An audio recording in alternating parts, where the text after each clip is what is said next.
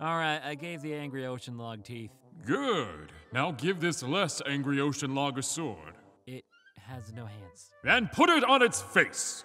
Okay, make a bug with a needle on its butt. Oh, another bee? Make sure it doesn't like people. Are we going to make its puke tasty too? No!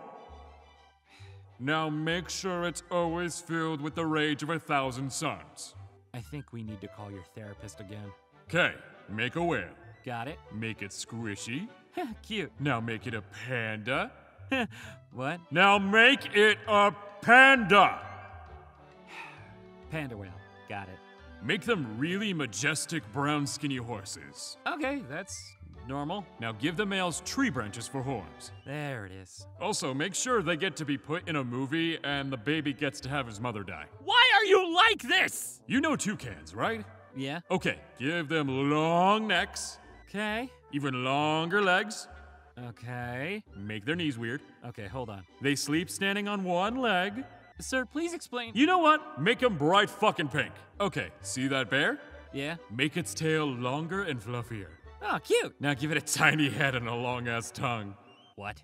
Take a star. Um, okay. Give it 5 to 50 arms. That is not possible, but okay. Now give it eyes at the end of those. Is that it? No, now give it 8 sharp teeth on the bottom and that's it. Okay, make it mostly pink and purple. Okay. Make it squishy. So far, so good. Give it immortality. Lucky. Oh, give it no organs. What the hell, God? I wasn't finished, idiots! Fine! Give it a circle head and noodle legs that can kill you when you touch them. You motherfucker! Tuxedo birds. What? Tuxedo birds! Make it have a kind of long nose. Okay. Make the babies tiny. Oh, uh, okay. Ooh, make them have the ability to curl up in a ball. This is actually a cute idea. And to make someone to make a game where they're blue and look nothing like them and have a cringy fandom with furries. I can never trust you sometimes.